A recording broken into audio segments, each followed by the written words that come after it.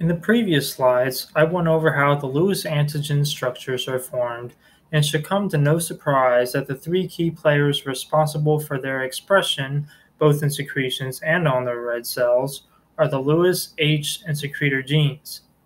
So let's break down the Lewis A and Lewis B inheritance into simple terms. When we're talking about Lewis A, for example, being expressed over Lewis B, Either the secretor gene, H gene, or both will be amorphs.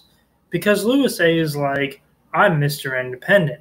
I don't need you, but if you want to come with me, then only one of you can come. So we're going to label this fool as a non-secretor. And what this means is that Lewis A will be the only antigen expressed in the secretion and on the red cell. Then we got Lewis B.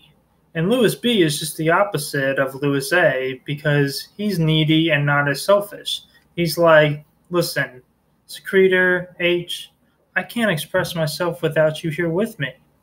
So we're going to call those that are Lewis A negative, Lewis B positive, the secretors. And thus, they will be able to express Lewis A, Lewis B, and H in their secretions. And of course, Lewis B will be expressed on the red cell.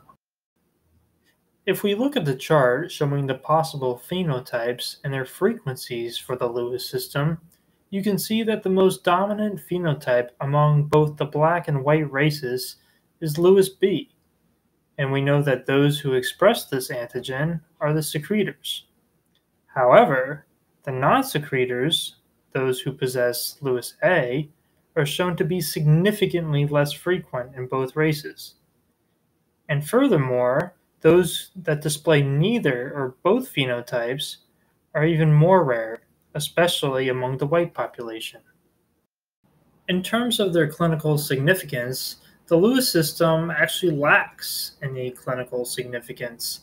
And this is to say that if a unit of Lewis positive blood were to be transfused into a recipient who is Lewis negative, the donor's antigens would neutralize the antibodies and a reaction likely wouldn't occur and it's always safe to perform a cross match, but transfusion reactions are rare. And since Lewis antibodies are of the IgM class, there's a low probability that hemolytic disease of the fetus and newborn will occur because these antibodies can't cross the placenta. So there are a few methods that are used to detect the presence of Lewis A and or Lewis B antibodies, and one is test tube agglutination.